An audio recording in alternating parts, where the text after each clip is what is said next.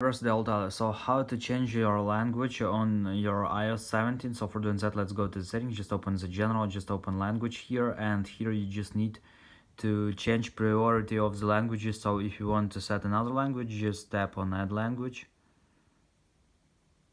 So for example Ukrainian. And after you can also just tap on use Ukrainian. So now you just need to wait until it will uh, change uh, everywhere to this language and after you will be able for using your iPhone. So thanks for watching, have a nice day, goodbye.